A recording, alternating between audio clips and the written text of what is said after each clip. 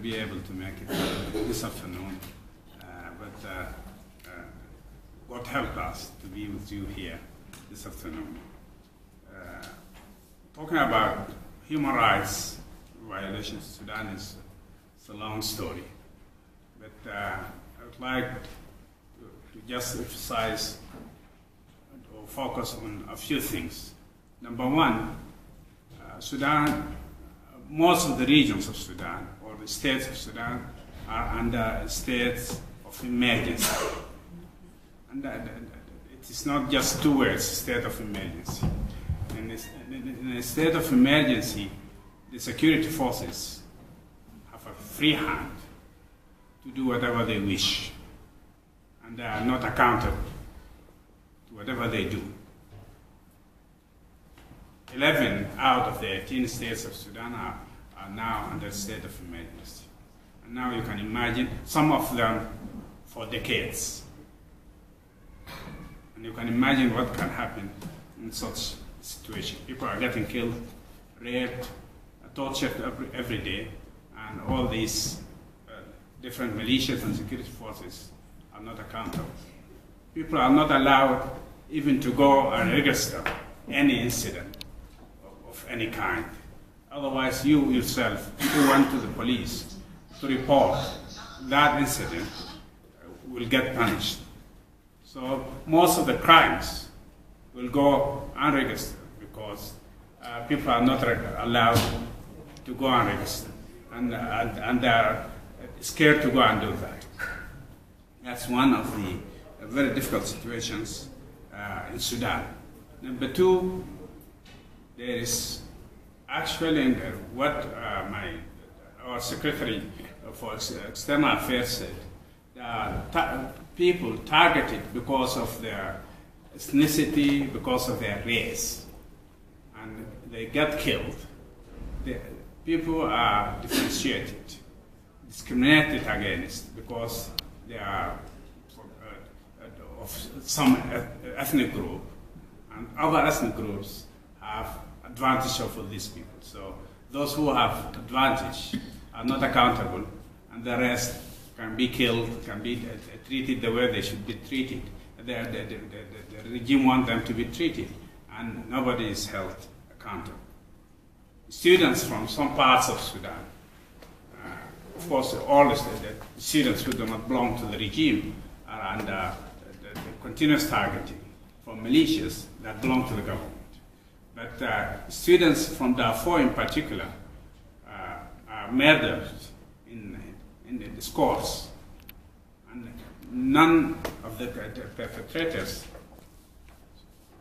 has ever been brought to justice. All those crimes are registered against some uh, unknown uh, perpetrator.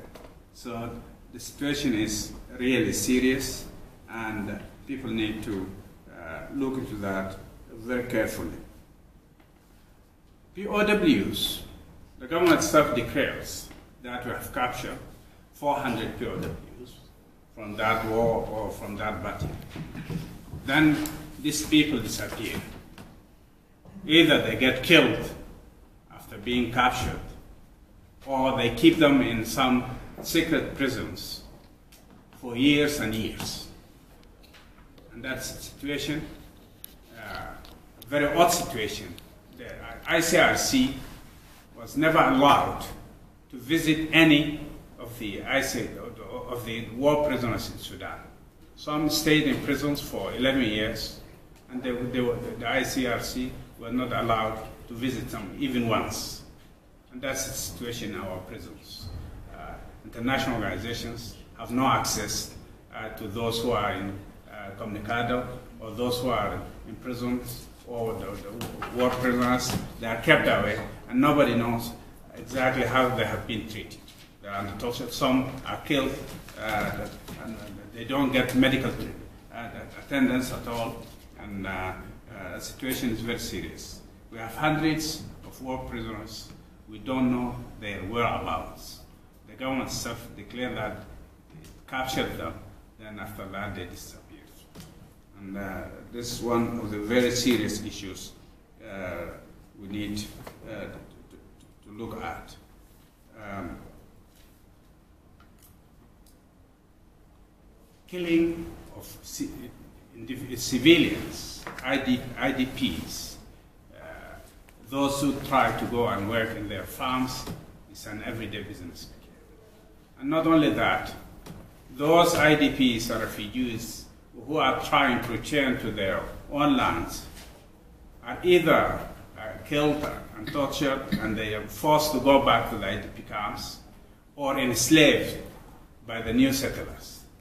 They are forced to work in their own farms for the benefit of the new occupiers. That's exactly the situation now in Darfur.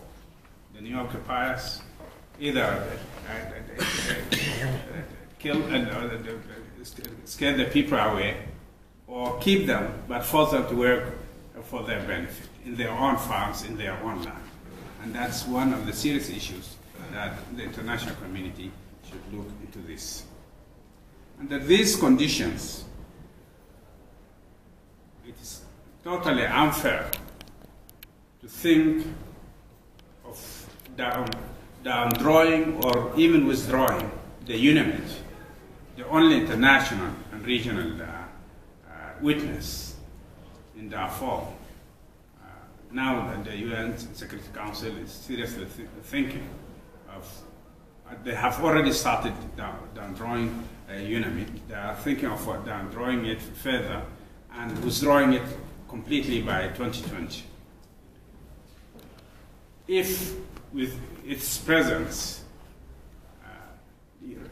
IDPs and refugees cannot return to their own land, definitely in its absence, uh, that will be and a remote dream.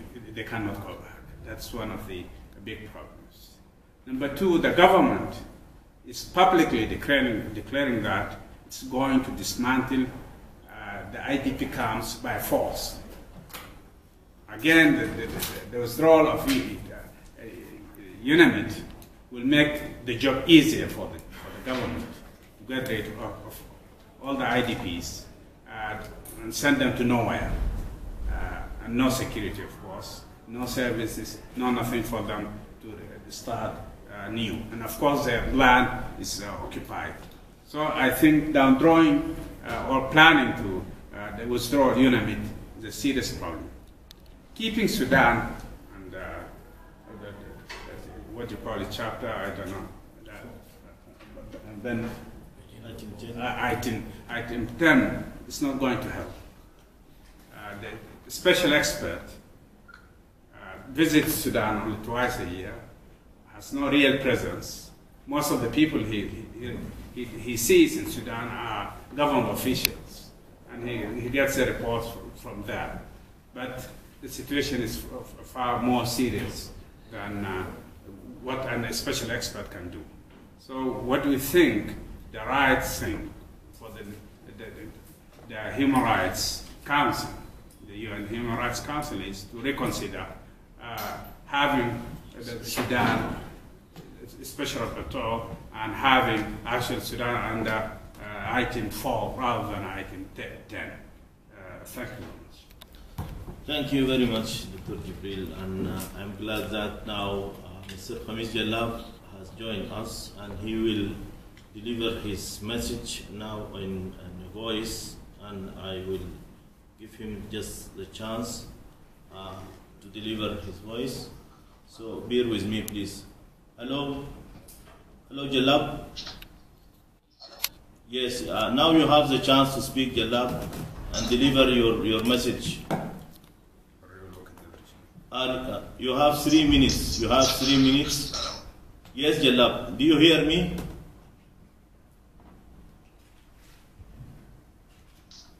Do you hear me? Yes?